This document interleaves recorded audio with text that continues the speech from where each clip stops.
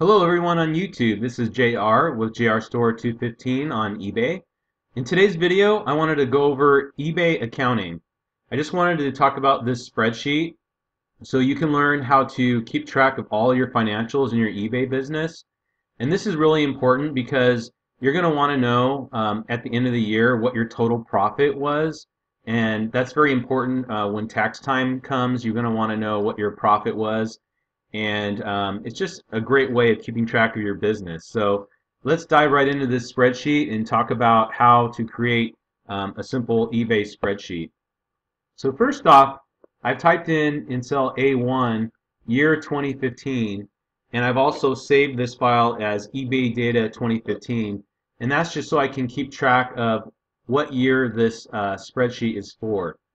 Now in the second row here I've typed in the headings for my table as you can see, I've typed in the date purchased, the description of the item, the amount that I paid for the item, the sold price, the shipping paid by the buyer, the actual cost of the shipping that I paid, and then the next few columns I have the fees. I have the eBay fee, the PayPal fee, and the total profit for the item. So when I'm outsourcing items, what I do is I come home and I catalog my items. So for example, say I've purchased this men's Banana Republic zip up blue sweater. I come here and I type in the date purchase, which is December 7, 2013. I type in the description of the item, and I also type in the amount that I paid for the item. Now you've noticed, you'll probably notice here that um, some of the cells are white and some are green. Now the reason for that is because the green cells are the sold items. When I sell an item, I go ahead, I type in all this information, and then I make the cells green. It's just it just makes it easier for me to see uh, visually which items have sold and which have not. Now let's just go over this, and um, I'll just do an example of uh, what I do when uh, I've sold an item. So let's say this men's Banana Republic zip up blue sweater has sold. Um, I come here and I type in the selling price. So let's say that this item sold for $29.99. I go ahead and type that in. And then here I'm going to want to type in the shipping paid by the buyer. In this case, it was $5.70. And then in this column, I'm going to type in the actual cost that I paid to UPS USPS to uh, ship this item. And in this case, it was also $5.70. So I type that in. Then here, what's great about this spreadsheet is it automatically has calculated for me the eBay fee and the PayPal fee. Now, how has it done that? Well, because I've put in uh, formulas in both of these columns. For the eBay fee, it's 10% uh, of the selling price plus 10% of the shipping paid by the buyer. So the formula is D3, which is the selling price, times 0.1 plus E3, which is the shipping paid by the buyer, times 0.1. And so that has that cell's automatically been populated with $3.57. Now for the PayPal fee, that has also been automatically populated because I've put in a formula for the PayPal fee which is 0.029 or 2.9% times the sold price plus the shipping paid by the buyer plus 30 cents. Now, um, these are the fees in my case. Your case may be different depending on whether you have an eBay store or not. So you just need to determine what your eBay fees are and your PayPal fees and put in an appropriate uh, formula for your particular situation. Now if I scroll over here as you can see, the total profit has been calculated for me.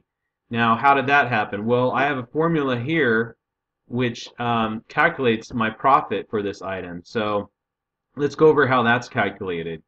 Uh, the formula is D3, which is the sold price, plus E3, which is the shipping paid by the buyer, minus the initial cost of the item, which is C3, minus the cost that I paid for shipping, which is F3, minus the eBay fee, which is G3, minus the PayPal fee.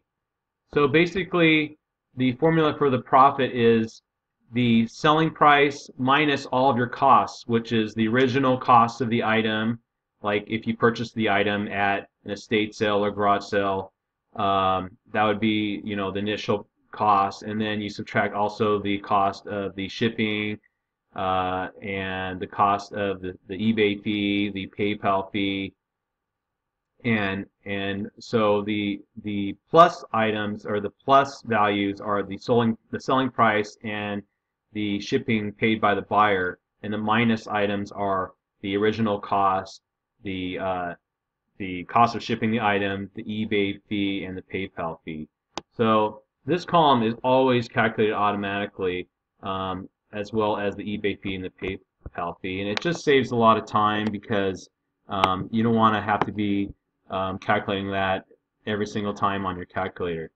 So once I've typed in all that information, I come back here and I highlight this green. And so now I know that that item has, has sold. Now what's great about this spreadsheet is at the end of the year, it also calculates what my total profit for the year is. If I scroll down all the way to the bottom, um, I've hidden uh, some rows here just to make it easier, but basically um, it adds this whole column here which gives me my total profit for the year.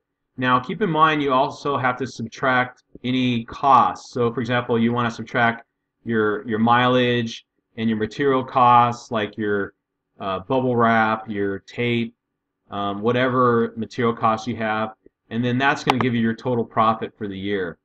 So this spreadsheet it's it's worked out really well for me. Um, I also have here a, a sum of the total uh, uh, payments that I've made for each of my items and then the selling price. And it's just a great visual for me to determine um, what my uh, sold items are and just keeping track of everything, keeping track of my profit, not only on an individual level for each of my items, but also the total profit for the year. And that really helps at the end of the year when it comes to tax time. So if you'd like further information, go ahead and check out my ebook. Um, I'm going to put a link in the in the description below. It has more information on how to um, run an eBay business and how to be successful. Um, please like and subscribe, and I'll be creating more videos. Hopefully this video has helped, and um, keep an eye on my channel for more informative videos. Take care and have a great day.